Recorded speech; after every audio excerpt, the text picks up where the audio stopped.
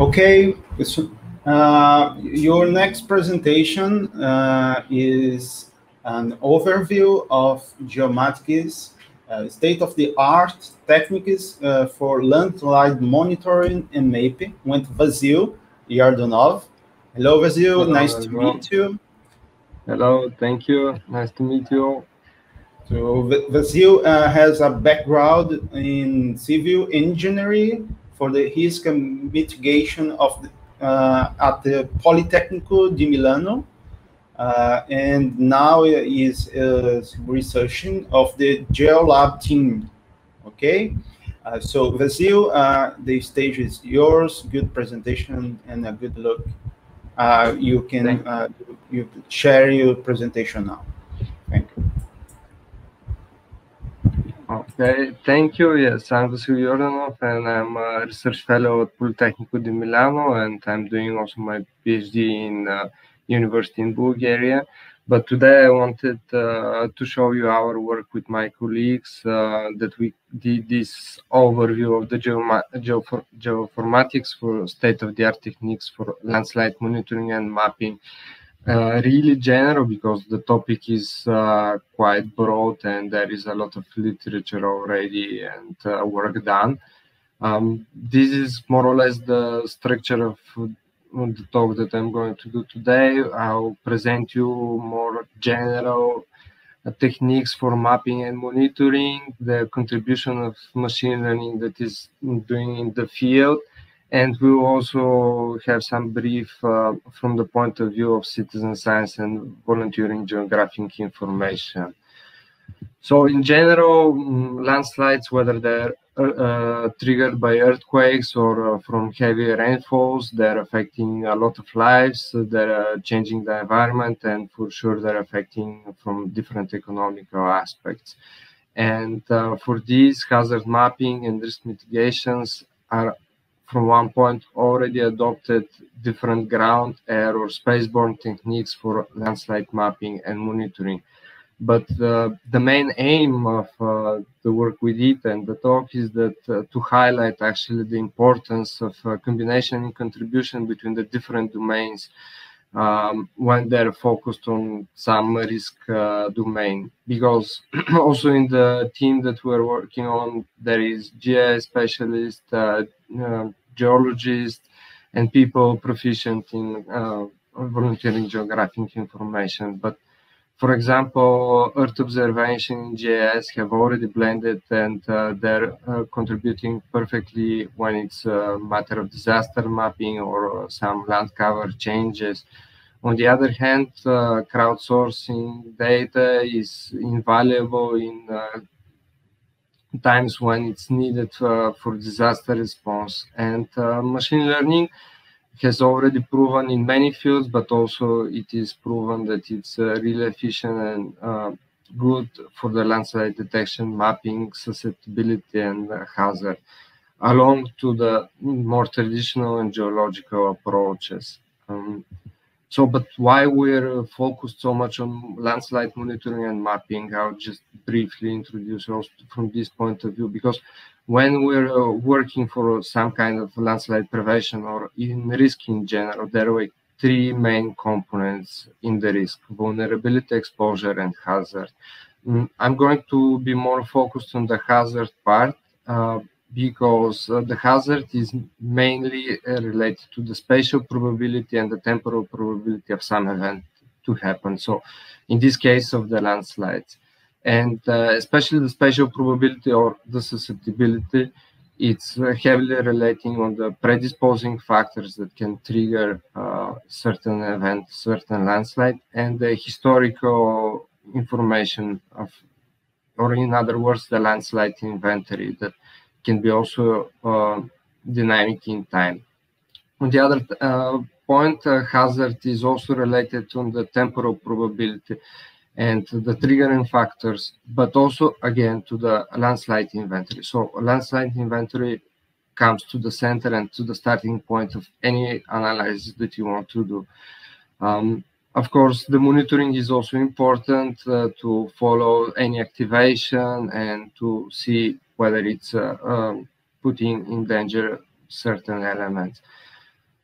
Uh, so, okay, for, to start, uh, we need some input data. So our focus was also the input data for the different activities. And in the case of landslide detection, um, multi-temporal satellite imagery is uh, appeared as most uh, used as the most rapid and uh, cheapest technology of the data, source. Of course, more traditional air photographs uh, where they're going to be from a plane or UAV are also used, but then it depends on the cost and uh, let's say it can be more time consuming to obtain the final products. A LiDAR and INSAR can be also integrated into the process uh, if you want to estimate the deformation field. But uh, it was noticed that mostly uh, scholars and uh, different operators are using optical multispectral images to estimate the location of the landslide and its extent and size. Some some other scholars are using different uh, digital terrain models for that purpose also. On the side of susceptibility modeling, the situation with the input data is not that straightforward. Uh, when it comes to the environmental variables. Uh, environmental variables, I mean factors that can um, contribute in the future activation of a landslide or um, for example, slope angle is really important in general. So in the case of susceptibility modeling, the input heavily depends on the region or the area that is under consideration and the landslides that are under uh, consideration. Then the next pa part is the operator and uh, uh, proper assessment of the situation and according to the decision which one which environmental variables will be included into the model. Uh, i put uh, here a relatively recent review of different susceptibility modeling techniques because the authors there reviewed uh, 565 papers and they defined that the authors in those papers used 596 different thematic variables which is uh, enormous number and um, it was noted that uh, some scholars are using only two variables. The other ones uh, can use up to 22 variables. And it is a little bit a field that uh, there is not a straightforward answer which data we have to use. But in general, the data can be mm, grouped into five thematic uh, groups that can be used uh, morphological, land cover factor, geological, and hydrological um, factors that can be used for susceptibility modeling. When it comes to landslide hazard estimation, one thing is for sure that um, evaluation and modeling of the triggering phenomena and the deformation in time should be also included. And a bit more about the actually the techniques that are used for on one side landslide detection mapping and on the other side for monitoring for both of them, it is true and still relevant that uh, in situ mapping campaigns and ground based monitoring are still key components and uh, they're providing valuable information, whether it's uh, just for validation or for main monitoring and mapping. But on the part of the detection, um, of course, as I said, satellite based data sets are um, reducing the time and costs. They're um, there are missions that are providing me medium spatial resolution with high revisit time. And in most of the cases, since the landslides can be uh, of the scale, they can be big, uh, the medium spatial resolution is uh, sufficient enough.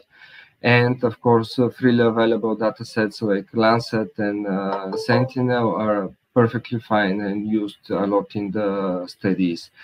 When it's uh, in particular for the use of optical multispectral images, um, the main approach that is applied usually is based on change detection and depending on the vegetation, presence, absence, uh, before and after uh, an event, uh, and other combination of uh, vegetation in this or in this in general when we're talking about synthetic aperture radar datasets, uh, main use is through changing the coherence or in the or using bitemporal interferometry.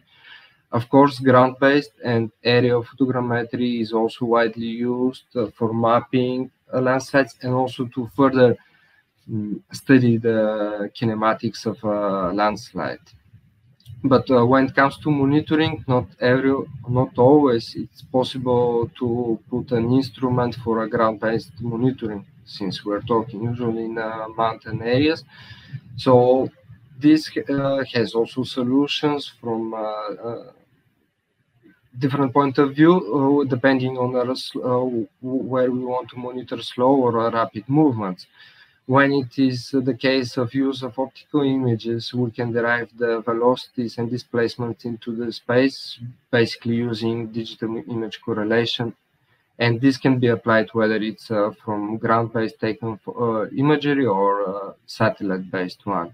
When we want to monitor uh, the event in 3D, uh, usually it is used uh, photogrammetric surveys and data sets.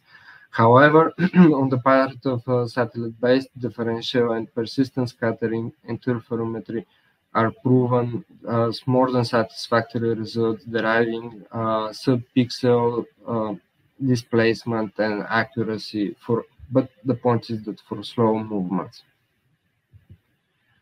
Okay, and the contribution of machine learning, I'm not going to enter into details about the machine learning since it has already been explained in general, but uh, mostly for detec detection, it is used uh, pixel-based or object-oriented uh, machine learning classification. It has been noted that uh, using uh, high-resolution imagery and object-based uh, image classification is proven as more effective. in most of the times, it is used only post-event images, but sometimes it is also helpful to have pre-event images. Um, most of the scholars and what was uh, is reported is that usually the models have to be finely tuned according to the area of interest, according to the phenomena that is under consideration, it is also important that um, it should be taken into account the class imbalance in, in, the training and validating sets because also the phenomenon is in such nature because this can alter and bias the final outputs. However, um, deep learning especially convolutional neural networks with uh, object-oriented image classification have proven that uh, or still are used as uh, really promising results. On the other hand, for the landslide susceptibility, it is noted that um, scholars tend more to compare separate individual machine learning approaches or algorithms to derive uh, susceptibility maps and models. But uh, it is interesting that in uh, recent works, ensemble learning methods are deriving even better results. And those ensemble Ensemble learning methods can include convolutional recurrent neural network, support vector machine, and uh, uh, logistic regression. On the side for uh, landslide uh, early warning and monitoring, uh, this and applying machine learning algorithms, this is a relatively recent investigation in fields and needs a little bit uh, more complicated combined analysis including the previous derived susceptibility and uh, in-depth studies of the triggering effects. However, there are some uh, studies that have proven that machine learning algorithm on uh, GNSS monitoring stations, rainfalls, and groundwater levels are depicting very accurately the velocity of uh, slowly moving landslides so in the end for uh, we can do some considerations of uh, machine learning on and landslide prevention is that machine learning has already proven and still used for uh, those activities. It should be highly paid attention to the class imbalance between non-landslide and landslide classes. Um, when we're talking about susceptibility and the input of thematic variables, they should be really um, suited for the case study and to the landslides that are uh, under consideration. However, um, even when the, there can be some guidelines for local models how to be improved, such improvement of models in terms of machine learning and susceptibility is really hard to be given on a global scale.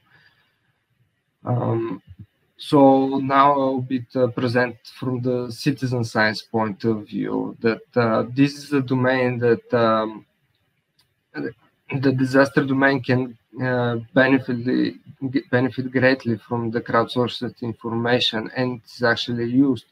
Uh, it can be on different levels, uh, from uh, starting just to collect data, or even when the citizens are with more professional and more knowledge on the topic, they can participate in the definition of the problem and how it can be analyzed and even to the analysis of the outputs. However, in the landslide domain, it is uh, firstly not that distributed among the citizens and individuals, and it is more restricted to the data, uh, data collecting. There are some um, examples of uh, such uh, collaborative platforms for data gathering on a global level. This is cooperative open online landslide repository and on national levels uh, can be the examples of Great Britain and the Italian national landslide uh, databases.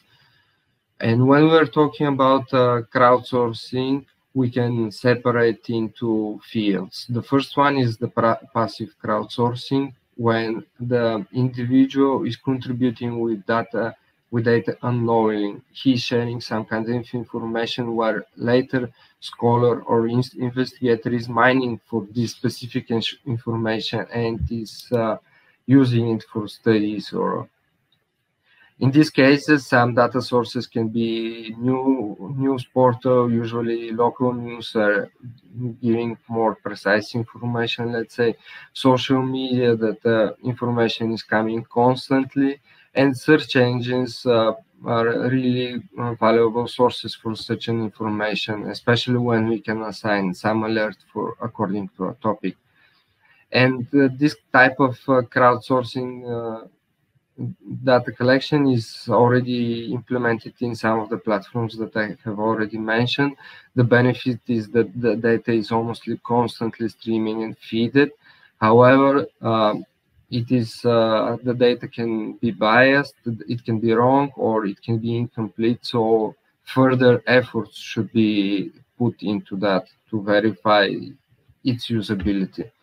And uh, when we're talking about passive crowdsourcing, we should talk also about active crowdsourcing, where actually the um, individual is knowingly and actively per, uh, participating into the specific topic, into for the specific outcome. However, for that, it is important during the during the survey design um, step to be the survey to be designed accordingly to know what kind of individuals will be participating, whether they're going to be professionals or people with uh, not so much knowledge onto the topic. Of course, it can be also both of the types. Um, so in most of the times, it is always suggested to put in the design or in the survey some um, information about the description of the landslides, the different types of landslides, the material that can be displaced, and the triggering factors. And uh, as such, active crowdsourced can be also separated to further two fields, uh, which is more one is desktop based and it doesn't require the user to be at the location and to uh, provide the information that uh, it's asked for. Uh, but of course, it is expected that provided from a distance, the information will have lower level of accuracy. But this gives a possibility of the des survey designer to implement materials and teaching for people with not so much knowledge into the topic, whether they're going to be just uh, normal materials or some interactive. It's up to their choice, but they have the possibility. Um, so as I said, yes, from a distance, the geographical location of an event cannot most probably will not be really precise, and there is needed further verification and validation to be determined the, uh, the location. On the other side, um, designers are focusing also on mobile-based uh, surveys because they're relying on the mobile applications because of the GPS, compass, camera, and internet access that mobile phone uh, proposes and uses. Some uh, some applications are also having the option to have an op offline option. So once uh, the phone is connected to the internet, then it's synced with Um, usually, those apps are relying on a simple and interactive user interface, so the data input will be straight straightforward as possible. However, when uh, we were doing uh, the research and uh, validating what apps are on the market, we not, not, uh, noticed uh, some trend that uh, some of the apps that were focused on landslides are discontinued after, most probably after the project has ended. And of course, after each um, crowdsourced campaign, whether passive or active, the data, sh data should be validated. And um, most of the times it is a proficient user, pro, uh, some proficient who is double checking, validating the data, or uh, when it's possible to obtain some redundant data, it is also suggested. However, in uh, uh, recent uh, years, it have been also implemented uh, deep learning techniques for image recognition and for validating images that are provided by citizens. Mm. So for now, from this point of view, yes, we wanted also to highlight some of the platforms that um, most probably you already know and are highly used, but they don't have uh, focus on the landslide uh, hazard and especially one is OpenStreetMap um, that uh, most probably all of you know and use. And here it is an example of a Ruinon landslide that is uh, relatively active in the last two years, and it's located in northern Italy, which is actually mapped uh, to certain step in uh, OpenStreetMap. Uh, however, the total extent of the landslide is incomplete. Most probably at the time of the mapping, it was uh, like this, uh, but since then it has changed.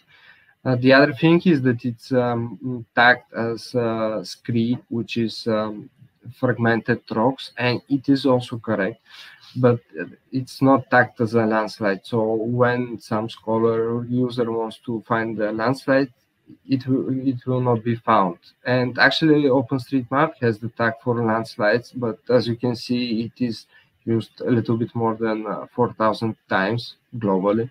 So definitely it should be used more and it can help uh, also that scientists with the data for future models when we have uh, when there is uh, precise data and information for certain events. So in the case of Ruinon, this is the mom at the moment on OpenStreetMap, the extent of the landslide. And the other platform that, in our opinion, can be used also in this domain, or it's a combination more of tools, is the Open Drone Map and uh, combination with Open Aerial Map. And again, this is an example of uh, uh, Ruinon landslide with um, hmm, after UAV campaign and photogrammetric model. Here is uploaded the uh, orthophoto of the landslide which can give us the possibility to directly go to OpenStreetMap and to update the extent of the landslide. And uh, this could be great also in a certain time step to be done or mm, for a lot of other uh, locations. So in this work, we did a really general uh, overview of the best practices for landslide mapping and monitoring, where we focus on the mm, collaboration between Earth observation, machine learning, and citizen science, where it, uh, each discipline has its own advantages and disadvantages, but in combinations they're contributing. Okay, so I think this is it for me. Thank you, and uh, if you have some questions, I'll answer.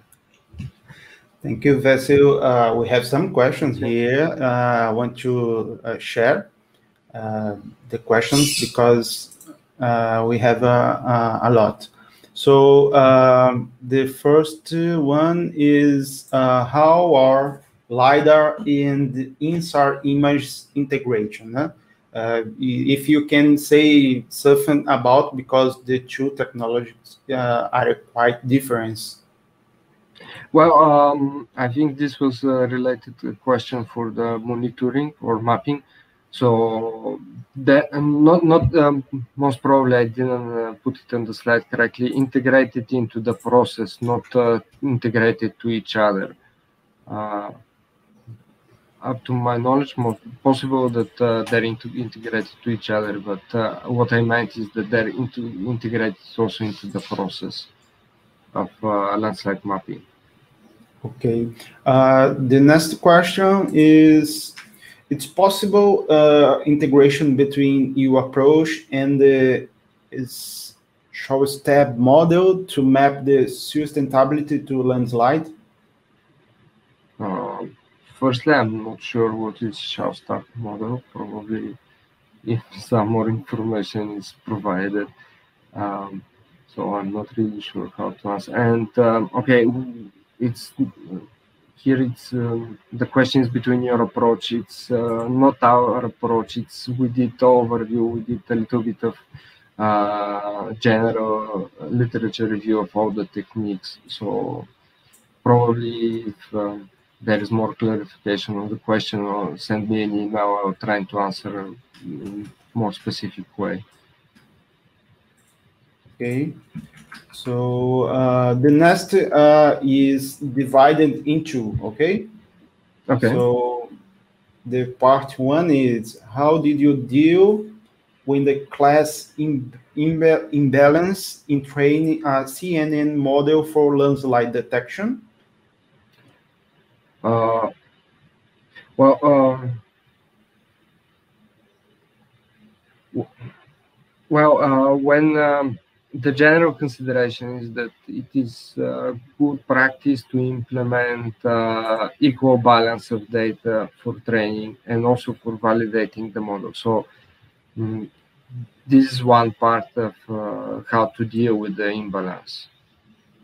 You try to uh, when when when we're dealing with binary problem as it is, uh, you have a landslide or not landslide in general. It's a good practice to put uh, um, 50-50 training and validation data into the model to so, be equally uh, represented this is the second part of the questions. No? Uh, there are many different types of the landslide. You speaking about this uh, now. Uh, mm-hmm. so CNN model also categorize the different types of the landslide into different class. Well, yeah, um, there are a lot of different types of landslides, and uh, that's why I didn't go into specifics. But uh, mm, in, and I was talking more general for landslides, but uh, it is also a good practice to focus on uh, one type of landslides uh, um, when it's for for recognition for mapping mm, with, what, the type of landslides that you train the model it will recognize those models. It is also relative for the susceptibility mapping. Uh, it should be trained with the model with the types of landslides that you're interested whether they're debris flow uh, rock falls or some bigger uh, landslides, it's better to train the model with the output that you're expecting for. Okay, uh, this is the the last question. Uh, in the context in the context of the open science, are your algorithm software data and Prosper is published in the open science platform like a Jupyter notebook or or the whole data is available? Um, okay, so pro um, probably I didn't manage to explain, but um, it's not that we applied all those algorithms. We're intending to, we're working on actually, but uh, um, what we did is that as an overview of the um, approaches, it's uh, on the site on the site of Open Science, of open data sets and everything. So Mm, more information about all the approaches or data sources or techniques, um, I think it would be better to look at the um, publication and in the end there I think three pages of uh, bibliography and from there you can find all the sources that we were mentioned and based on this talk that were yeah, our talk is based. Okay, uh, Vasil, thanks for the presentation. Your time is Thank up. You. Uh, Thank you. But uh, your great, great presentation. We have message in the chat uh, for congratulations. So I, I you share your email in the chat for the yeah, people sure. entering Yes, and to the question that I didn't manage to answer, if you send me an email, I'll try to answer your question. Okay, now, um, uh, bye, Vasil. Uh, you see Thank social you. gathering in the FOSS4G, Yeah. okay? Thank you. Bye.